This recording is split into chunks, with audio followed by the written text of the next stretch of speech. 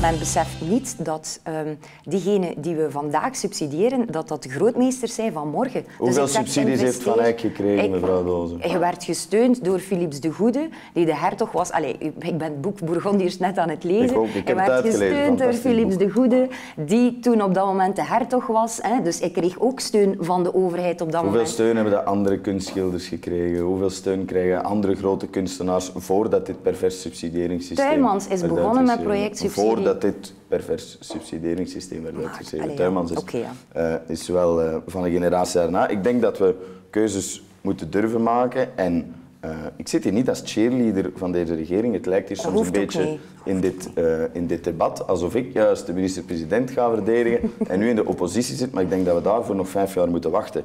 Wat wel zo is, uh, waar, waar ik zeker kritiek op heb, is dat deze regering helemaal geen duidelijke keuzes durft maken. We hebben het daar juist even aangeraakt, die kaasschaafmethode, 3%, 6%, maar daar blijft het dan ook bij. Men zou veel gerichter kunnen besparen en misschien is er dan wel meer geld voor dat humus van de samenleving dat u zo graag heeft voor die projectsubsidies. Ik denk bijvoorbeeld aan al die uh, subsidies voor de zogenaamde uh, sociaal-culturele volwassen werkorganisaties. Hè. Unie van Turkse Verenigingen, 366.000 euro. Unie van Turkse Islamitische Culturele Verenigingen. Maar dat gaat wel naar... Uh, 93.000. Maar ja. het is een belangrijk... Het is typerend aan deze regering dat ze heel veel grootspraak doen, maar in de realiteit verandert er niks. Die migrantorganisaties blijven miljoenen krijgen. En wat doen ze daarmee? Ze organiseren daar protesten mee, zoals VOEM uh, aan, aan, aan de okay. school de Blokkendoos. Ze organiseren dat... Erdogan weekendscholen daarmee. Dat is wat deze regering blijft doen met die cultuursubsidies. En dat is dat wat is... ons Allee. een doorn in het oog is.